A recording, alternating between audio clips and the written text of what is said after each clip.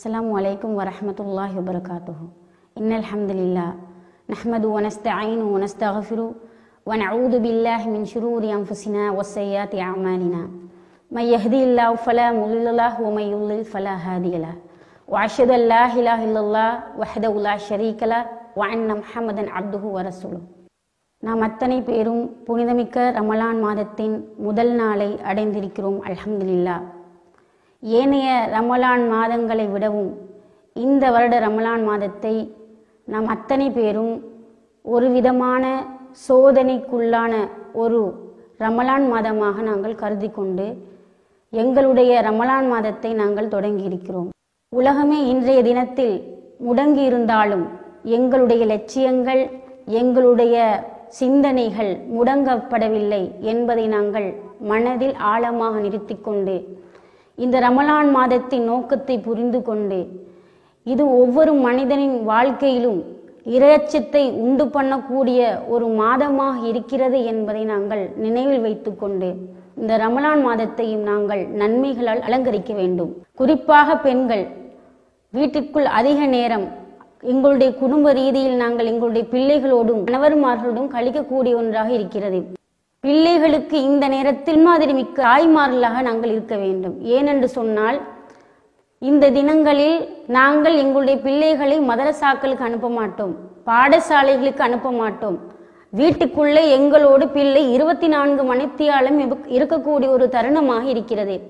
இப்போது முழுக்க முழுக்க ஒரு பிள்ளையின் முன்மாதிரி நாங்கள் தான் அதாவது பெற்றோர்கள் இந்த நேரத்தில் உங்களை பார்த்துதான் உங்களுடைய பிள்ளைகள் செயல்பட போகிறார்கள் என்பதை நாங்கள் கவனித்துக் கொண்டு எங்களுடைய அன்றாட வாழ்க்கையில் செயல்பாடுகளை நாங்கள் அமைத்துக் கொள்ள வேண்டும். நாங்கள் இந்த ரமலான் மாதத்தில் மிக பயனுள்ள விதத்தில் குர்ஆனை கொண்டும் திக்ருகளை கொண்டும் இன்ன பிற வணக்க வழிபாடுகளை கொண்டும் நாங்கள் கழிக்க வேண்டும் என்பதை முதன்மையாக நாங்கள் பட்டியல்படுத்திக் கொள்ள வேண்டும்.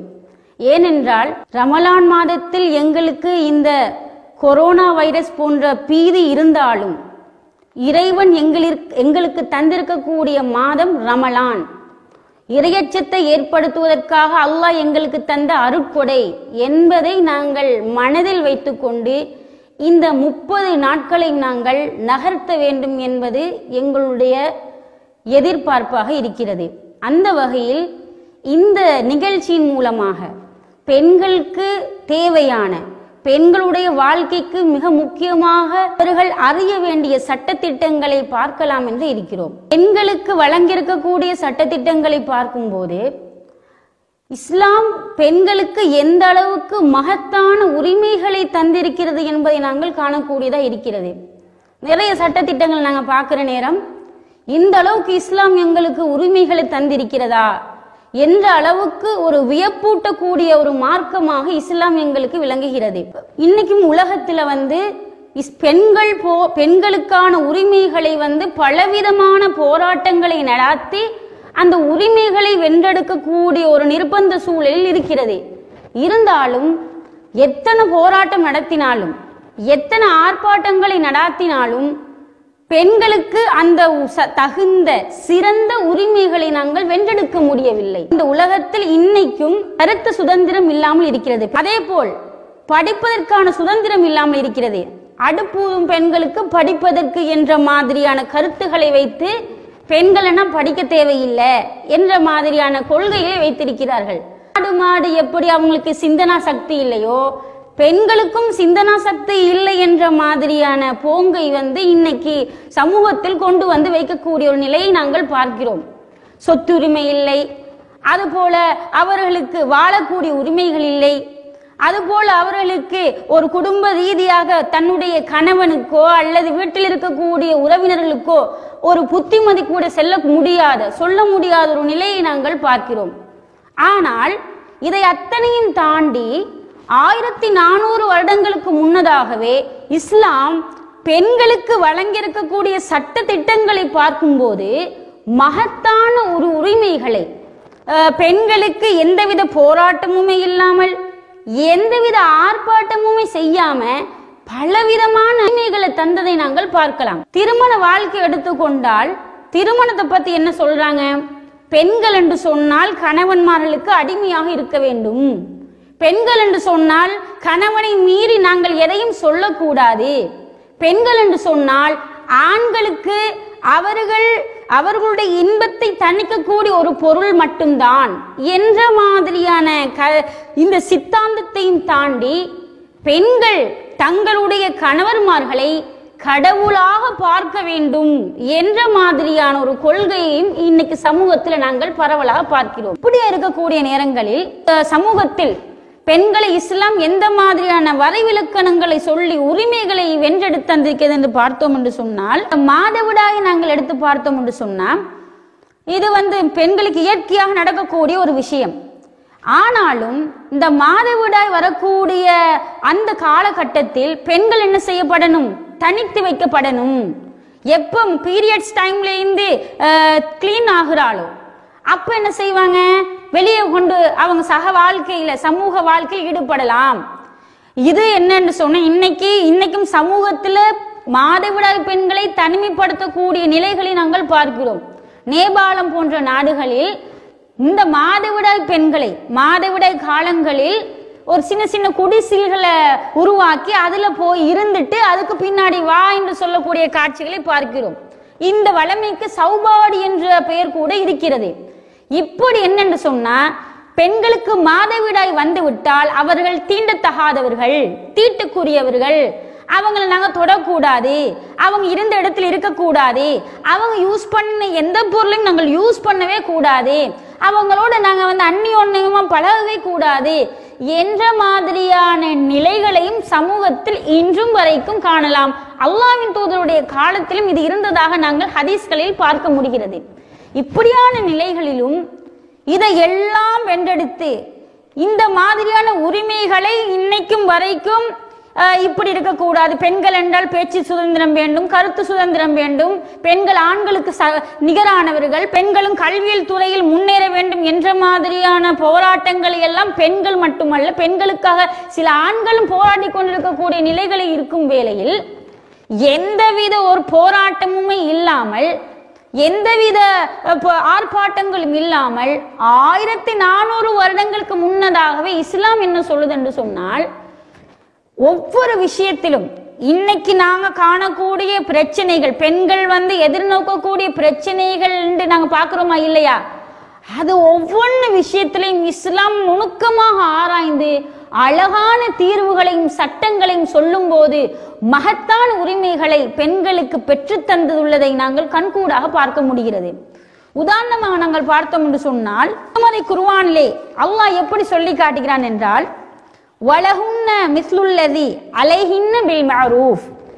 பெண்களுக்கு கடமைகள் இருப்பது போல் அவர்களுக்கு உரிமைகளும் சிறந்த முறையில் உள்ளன. பெண்களுடைய உரிமைகளை பற்றி ஆயிரத்தி நானூறு வருடங்களுக்கு முன்னதாக இஸ்லாம் சொல்லுது. என்ன? அவங்களுக்கும் கடமைகள் இருக்குது. அவங்களுக்கும் உரிமைகள் இருக்கிறது. அப்ப உரிமைகளை பற்றி முதன்மையாக ஒரு மார்க்கம் பேசியிருக்குது. எங்களுக்கும் சில உரிமைகள் இருக்கிறது. அப்ப இந்த அளவுக்கு பெண்களுக்கும் உரிமைகள் உள்ளது என்பதை ஆயிரத்தி நானூறு வருடங்களுக்கு முன்னதாகவே ஒரு இறை வசனம் வந்து சமூகத்திலே முழு உலகத்துக்கே கூறியிருக்கிறது என்று சொன்னால் முதன்மையான மார்க்கமாக இஸ்லாம் என்னது? ஒரு சிறப்பான ஒரு மார்க்கமாக எங்களுக்கு திகழக்கூடியதா இருக்கிறது. அது மட்டுமல்ல மற்றைய மதங்களிலும் பெண்களை வந்து கணவன் மனைவி என்ற வாழ்க்கையை எப்படி காட்ட பார்த்தாங்க? கடவுளும் ஒரு பக்தியும் கடவுளும் ஒரு அடியானும் எப்படி இருக்கிறாங்களோ அது மாதிரியான ஒரு கோணத்தில் அந்த கணவன் மனைவி என்ற வாழ்க்கையை பார்த்தார்கள். அந்த வாழ்க்கையை காட்ட முற்- முற்பட்டிருக்கிறாங்க. ஆனால் இஸ்லாம் அந்த வாழ்க்கை எப்படி காட்டுது காட்டுது தெரியுமா? ஒரு கணவன் ஒரு மனைவி இவங்க ரெண்டு பேர்த்து இருக்கக்கூடிய அந்த உன்னதமான அந்த வாழ்க்கையை ஃப்ரெண்ட்ஷிப் ஒரு நல்ல தோழமை என்ற வகையில் காட்ட முயல்கிறது. எப்படி என்று சொன்னால் பாருங்கள்.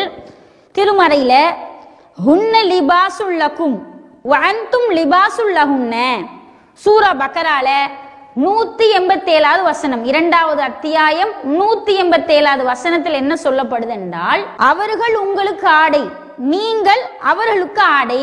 ஆடை என்ற விதத்தில் நீங்கள் அவர்களுக்கு ஒப்பிடப்படுகிறீங்க. அதுபோல் ஒரு கணவன் மனைவி ஒப்பிடப்படுகிறாள். அப்ப கணவனும் மனைவியும் ஆடை ஆடை மாதிரி. ஒரு ஆடை என்ன பண்ணும்? நாங்க ஆடை அணிஞ்சிருக்கிற நேரத்தில் எங்களை வெயில இருந்து பாதுகாக்கும். எங்களை வந்து மானக்கேடான ஒரு மானத்தை வந்து மானங்களை பாதுகாக்கும். எங்களுடைய உரு உறுப்புகள் வெளியில் தெரியாத மாதிரி எங்களை பாதுகாக்கும்.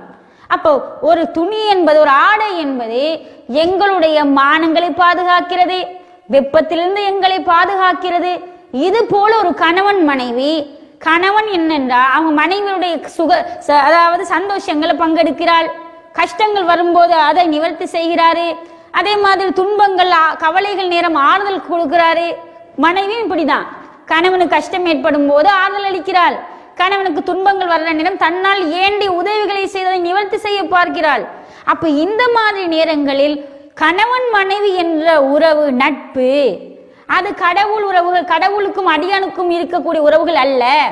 அந்த எப்- கடவுள் மனை கடவுளுக்கும் பக்தைக்கும் என்ற அந்த உறவை தகர்த்தெறிந்து கணவன் மனைவி என்ற உறவு நட்பு ரீதியான உறவுதான். அவங்க வந்து ரெண்டு பேருக்கும் பேலன்ஸ் பண்ணி போற மாதிரியான ஒரு வாழ்க்கை. இப்படி என்ற மாதிரி இஸ்லாம் ஆயிரத்தி நானூறு வருடங்களுக்கு முன்னதாகவே சொல்லியிருக்கிறது. சூரா நிசா நாலாவது அத்தியாயம் முப்பத்தி ரெண்டாவது வசனத்துல நாங்க என்ன பார்க்கிறோம் என்று சொன்னால் லிரிஜாலி நசீபும் மிம்மத் தசபு. ஆண்களுக்கு அவர்கள் பாடுபட்டதில் பங்குண்டு பெண்களுக்கும் அவர்கள் பாடுபட்டதில் பங்குண்டு. ஆண்களுக்கும் ஆண்கள் சம்பாதிக்கிறாங்க. அந்த சம்பாதித்தவற்றில் ஆண்களுக்கும் பங்கு இருக்குது. பெண்கள் சம்பாதிக்கிறாங்க. பெண்களுக்கும் அவங்க சம்பாதித்தவற்றில் பங்கு இருக்குது என்று சொல்லி ஆயிரத்தி நானூறு வருடங்களுக்கு முன்னதாக இஸ்லாம் சொல்லுது. இப்போ இன்னைக்கு நாங்கள் பார்க்குற பெண்கள் வேலைக்கு போக முடியாது சம்பாதிக்க முடியாது. அதே மாதிரி பெண்களுக்கு வந்து நன்மைகள் என்று வர விஷயத்தில் ஈடுபடக்கூடிய அந்த விவாதத்துகள் என்று வர நேரத்தில் அது பெண்களுக்கு இல்லை. இப்போ பெண்கள் வந்து பெண்கள் சம்பாதிப்பதற்கு அவசியமற்றவர்கள் பெண்களுக்கும் வந்து இந்த வி- சம்பாதிக்கக்கூடிய விஷயத்தில் நன்மைகளில் ஈடுபடக்கூடிய விஷயத்தில் வந்து அவர்களுக்கு என்ன பங்கு இல்லை என்ற மாதிரியான சிந்தனைகள்லாம் கொண்டு வர்றாங்க. இப்போ இன்னைக்கு நாங்கள் பார்க்குறோம் இந்தியா போன்ற நகர நாடுகளில் பெண்கள் சபரிமலைக்கு போவதற்கு கூட தடை விதிக்கப்படுகிறது. அதாவது சபரிமலை என்றால் அவங்களுடைய உன்னத ஸ்தா- உன்னத ஒரு வழிபாட்டு தலம். ஆனா இன்னைக்கு அந்த பெண்களுக்கு போக முடியுமா? முடியாது. ஆனால் இஸ்லாம் என்ன சொல்லுது? நான் இபாதத்து என்றாலும் இறைவனை நெருங்கக்கூடிய அந்த விடயங்களிலும் அதே மாதிரி அவர்கள் சம்பாதிக்கக்கூடிய விடயங்களிலும் வியாபாரம் பண்ணணுமா? அதுக்கும் இஸ்லாம் எங்களுக்கு அனுமதி தந்திருக்கிறது. அதுபோல நன்மைகள் செய்யணுமா? அதிலும் எங்களுக்கு பங்கு இருக்கிறது என்று இஸ்லாம் சொல்கிறது அப்ப ஆயிரத்தி நானூறு வருடங்களுக்கு முன்னதாகவே எந்தவித போராட்டங்களுமின்றி எந்தவித ஆர்ப்பாட்டங்களுமின்றி அழகான ஒரு உரிமைகளை சிறந்த தீர்வை இஸ்லாம் எங்களுக்கு சொல்லி தந்திருப்பதை நாங்கள் கண்கூடாக பார்க்கிறோம். திருமணம் என்று சொன்னால் நாங்கள் வந்து கண்ணை மூடிட்டு நாங்கள் ஒரு குழியில விழுறது மாதிரி இன்னைக்கு ஒரு சித்தாந்தத்தை பார்க்க நினை காட்ட நினைக்கிறார்கள். திருமணம் என்றா என்ன? கண நாங்கள் முடிக்க போற ஒரு ஆணை மனசுக்கு பிடிச்சிருக்கணும் பார்க்கணும். இந்த அனுமதி அத்தனையுமே இஸ்லாம் எங்களுக்கு தந்திருக்கிறது. ஆனால் இன்னைக்கு திருமணம் அப்படியே நடக்குது? முஸ்லிம்கள்ல எப்படி நடக்க பார்க்க எப்படி நடத்துறாங்க? க- கல்யாணம் என்றதை பேசுறாங்க. கல்யாணம் அன்றுதான் சில பெண்கள் தங்களுடைய வாழ்க்கை துணைவர்களுடைய முகத்தை பார்க்கக்கூடிய ஒரு அவல நிலை உண்டாயிருக்கிறது. ஆனால் இஸ்லாம் என்ன சொல்லுது? கல்யாணம் என்று வர்ற நேரத்தில் பெண் அதாவது யாரை நீ முடிக்க போகிறாயோ அந்த அவருடைய முகத்தை நீ பார். அது அவருடைய விரு அந்த பெண்ணின் கன்னி பெண்ணின் விருப்பத்தோடு தான் அந்த திருமணம் நடக்க வேண்டும் என்று இஸ்லாம் எங்களுக்கு ஒரு அழகான உரிமைகள் எங்களுக்கு தந்திருக்கிறது. பெண்ணின் சம்மதம் இல்லாமல் திருமணம் அடை- திருமணம் முடித்த பின்னாடி அந்த பெண் என்ன செய்வதென்று திகைத்து கொண்டிருக்கிறாள். மனசில் ஒரு விதமான ஒரு கலக்கத்தோடு அந்த பெண் வாழ்க்கை நடாத்தி கொண்டிருக்கிறார். இப்படியான பெண்கள் சில நேரங்களில் ஆறு மாசம் ஆறு வருஷம் கடந்த பின்னாடி விவாகரத்து நிலைக்கு உள்ளாக்கப்படக்கூடியதை நாங்கள் பார்க்கிறோம். ஏன் என்று சொன்னால் பெண்ணின் சம்மதம் அங்கு பேணப்படவில்லை. பெண்களுடைய சம்மதம் இல்லாமல் அங்கே திருமணம் நடந்திருக்கிறது. இது போன்ற நிலைகள்ல என்ன இஸ்லாம் எங்களுக்கு சொல்லியிருக்கிறது? கல்லானாலும் கணவன் புல்லானாலும் புருஷன் என்ற மாதிரியான கொள்கை எங்களை சொல்லி தந்திருக்கிறதா? இஸ்லாம் எப்படி எங்களுக்கு சொல்லி தந்திருக்கிறது? ரசூல்லா அவருடைய காலத்தில் நடந்த ஒரு சம்பவம். ஒரு பெண் அல்லாவின் தூதர் எடுத்து வந்து சொல்றாங்க. அல்லாவின் தூதரே என்னுடைய விருப்பம் இல்லாமல் எனக்கு திருமணம் முடிந்து விட்டது. நபிகள் நாயகம் என்ன சொல்றாங்க? உடனே அந்த திருமணத்தை ரத்து செய்கிறார்கள். அப்ப ரத்து செய்து விட்டு உ- ரத்து செய்து விட்டு அவங்க என்ன செய்யறாங்கன்னு சொன்ன மகராக உனக்கு எது கிடைத்ததோ அதை திருப்ப கொடு என்று சொல்றாங்க. அப்ப இந்த அளவுக்கு திருமணமே இல்லை என்ற ஒரு கொள்கை ரசூல் நா- ரசூல் சல்லா அலிஸ்லாம் அவர்கள் எங்களுக்கு சொல்லித் தந்ததன் மூலமாக வேண்டாத விருப்பமே இல்லாத ஒரு திருமண வாழ்க்கையில் ஒரு பெண் வாழ முடியாது. அவளுக்கு விரும்பினால் அந்த திருமண உறவை துண்டிக்கலாம். ஒரு கொள்கையை எங்களுக்கு அழகாக அல்லாஹ் தூதர் அவர்கள் எங்களுக்கு தந்து தந்திருக்கிறார்கள். இது போல இன்னும் ஏராளமான உரிமைகளை இஸ்லாம் எங்களுக்கு சொல்லி தந்திருக்கிறது. அந்த உரிமைகள் ப- உரிமைகளை நாங்கள் பார்க்கும்போது அந்த சட்ட திட்டங்களை பார்க்கும்போது இறைவன் இ- சட்ட திட்டங்கள் தான் இந்த அளவுக்கு உரிமைகளை பெற்றுத்தரக்கூடிய ஒரே ஒரு மார்க்கமாக ஒரே ஒரு சட்டத்திட்ட அதாவது ஒரே ஒரு வழிகாட்டுதலாக இருக்க முடியும் என்பதை நாங்கள் மனதில் ஆழமாக நிறுத்தக்கூடியதாக இருக்கிறது. அந்த வகையிலே இந்த ரமலான் மாதத்தில் தொடர்ந்து வரக்கூடிய சில நாட்களில் நாங்கள் வந்து பெண்களுக்கு பெண்களுக்கு இருக்கக்கூடிய சட்டத்திட்டங்கள் குறிப்பாக அறிய வேண்டிய அறிய வேண்டிய சட்டத்திட்டங்களை நாங்கள் பார்க்கலாம் என்று இருக்கிறோம். அந்த வகையில் நாளை தினம் இன்ஷா அல்லாஹ் மகளிருக்கான அறிய வேண்டிய விஷயங்களில் மாதவிடாய் என்பது ஒரு அசுத்தமான இரத்தமா? மாதவிடாய் நேரத்தில் பெண்களுக்கு இருக்கக்கூடிய சட்டம் என்ன?